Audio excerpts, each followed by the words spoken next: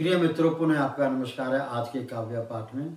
और जैसे कि मैंने आपको बताया, ये एपिसोड नंबर दो है, कारला की रॉक कट गुफाएँ पूना पूना, बॉम्बे हाईवे पर। तो अब मैं ग्यारहवा पद पढ़ रहा हूँ। कारला रॉक कट गुफाओं का प्रार्थना स्थल यानी चैतन्य स्थल। कारला राकट गुफा का प्रार्थना स्थल यानी चेतन स्थल, एक विशाल, विस्तृत प्रेयर हॉल है। एक विशाल विस्तृत प्रेयर हॉल है। यह एक विश्व भर में राकट गुफा सर्जन कला क्षेत्र में सर्वस्व विशाल परिचय वाला बौद्ध उपासना पुण्य क्षेत्र है। बारहवा। गुफा संख्या आठ ही कारला गुफाओं की आन बान है, शान है।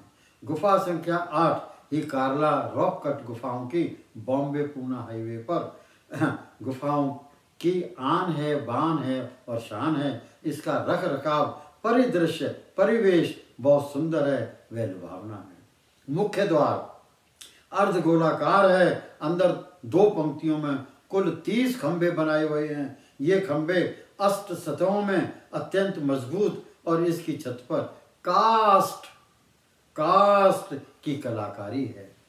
तेरवा गुफा संख्या आठ गुफा संख्या आठ के भीतर शेर, हाथी व अन्य वन्य जीवों के बुत हैं। महात्मा बुद्ध हाथी की सवारी करते प्रदर्शित हैं, शोभायमान हैं। इस गुफा के भीतरी अंत में एक भव्य स्तूप है। यही स्तूप बुद्ध अनुयायियों का देवता है।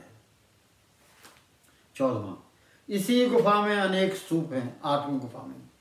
कारला कारला रॉक कट गुफाओं बम्बई पूना मार्ग हाईवे पर स्थित गुफाओं में अनेक स्तूप हैं अनेक अनन्य बुद्ध विहार हैं, यानी निवास स्थल हैं, अनन्य बुद्ध विहार हैं, यानी निवास स्थल हैं, अनन्य बौद्ध भिक्षुओं के अनन्य कक्ष हैं, ये सब कुछ बड़े मनोरम है, परमानंद का बौद्ध कराता है, वातावरण यहाँ बहुत मदमस्त है।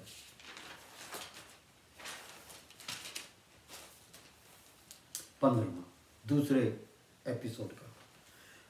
या के पांचवा कारला गुफाओं के मध्य स्थित है।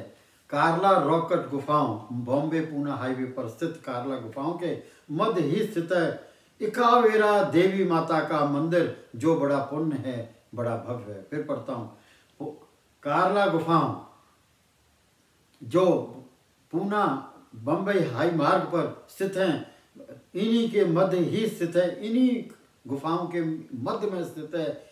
इकावेरा, देवी माता का मंदिर जो बहुत बड़ा पुण्य है, बहुत भव्य है। इकावेरा देवी मुंबई के कोली समुदाय के मछुआरों की आराध्य देवी है। वर्तमान में सभी सैलानी इस आराध्य देवी, माता इकावरी देवी का दर्शन करते हैं, आशीर्वाद लेते हैं, कृपा और शरणागत होने की प्रार्थना करते हैं।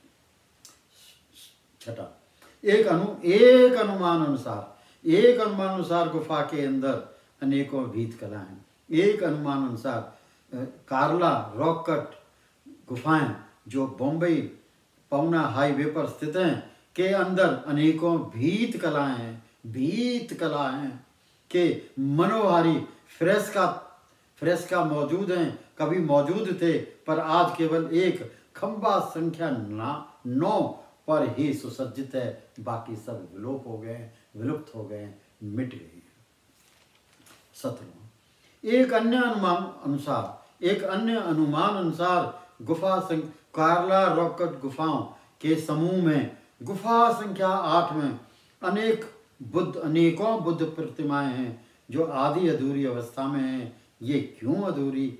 आदि अधूरी रह गई, कारण अभी तक भी अज्ञात है। आठवां। पद दूसरे एपिसोड का। वैसे तो कारला गुफाओं का रख रखाव संतोषजनक है। मैंने खुद ने देखा। और धन्यवाद है गवर्नमेंट ऑफ़ हरियाणा का। नहीं, government of Andhra Pradesh, government of Maharashtra का और सेंट्रल गवर्नमेंट भारत सरकार का।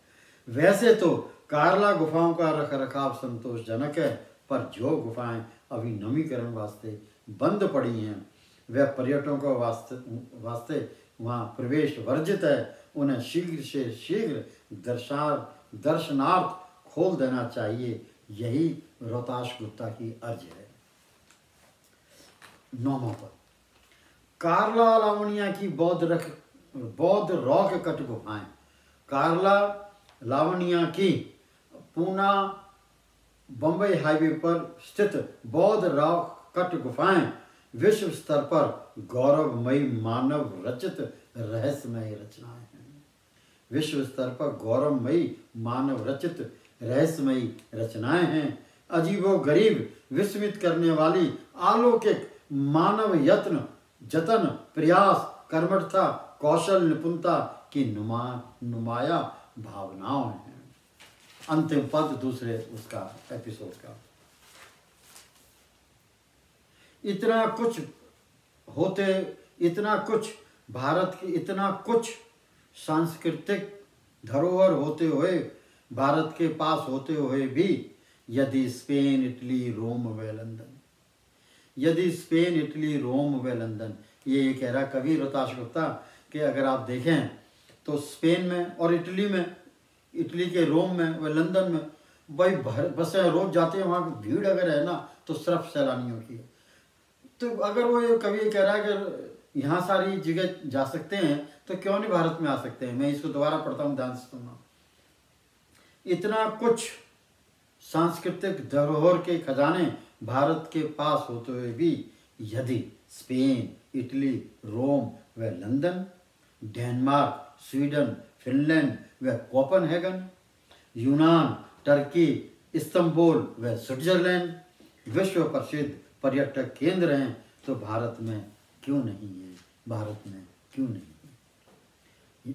अंतिम अंतिम ये वो था, आपका मेरे को आपने ध्यान से सुना और मेरे चैनल वॉइस ऑफ़ पोइट्री को आपने देखा। इसके लिए मैं अंत हृदय से आपका आभारी हूँ। धन्यवाद धन्यवाद धन्यवाद।